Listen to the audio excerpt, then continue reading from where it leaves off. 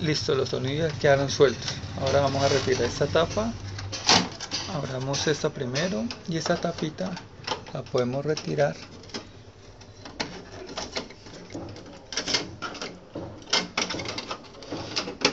Girándola un poco. Este, esta piecita nos va a estorbar en un momento por eso la vamos a inclinar hasta que salga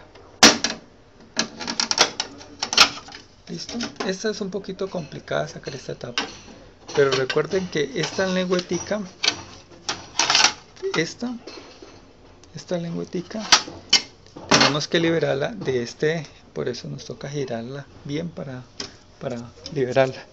Ahora ya con la puerta con esa tapa suelta esta cosita puede, se puede liberar más fácil. La levantamos un poco y ahí ya quedó floja esa sección. Y ahora la otra hacia el otro lado. Listo. Ahora queda esa pesta esa esos dos ejércitos libres. Listo. La unidad fusora es este módulo. Eso nos toca retirarlo a través de este tornillo y este. Son los que vamos a liberar. Y zafar todos estos cables estos dos cables son los de poder. Ellos no tienen problema porque ellos no tienen problema porque pues son, son AC entonces liberamos este liberamos este otro. Ya están estos dos. No tienen color no tienen nada porque pueden ir uno hacia el otro indiferentemente.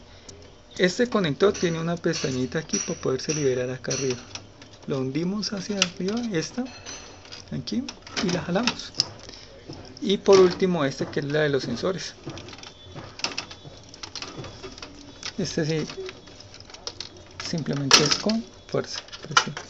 Recuerde que este es un sujetador de cables tiene una pestañita aquí.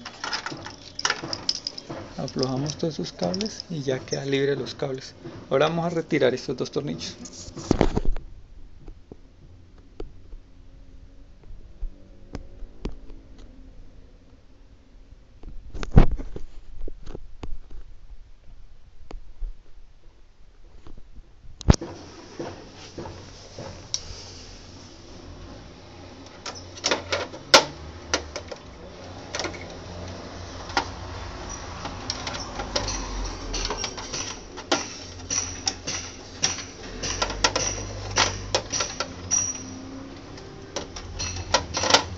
ellos quedan simplemente flojos.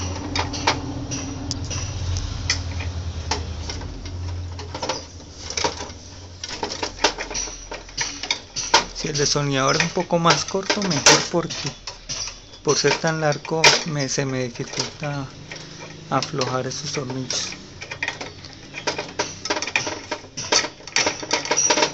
Listo y ahora sí retiramos esa unidad. Recuerden que esta unidad es muy caliente.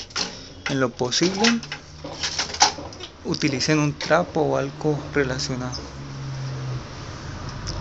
Bueno hasta aquí la unidad